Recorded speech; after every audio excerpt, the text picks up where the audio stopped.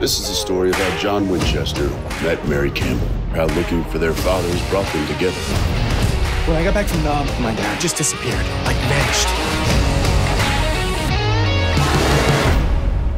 Your dad was hunting demons from hell. I have like a million questions. What is this place? They've been around for centuries, operating in shadows. I'm gonna find my dad. We'll grab weapons on the way. Come on, rookie. Learn something. This is good versus evil. Nice to see you again. It's a normal night for you? Since I was a kid, yeah. There's a whole other world out there, a dangerous world. It's okay to be nervous.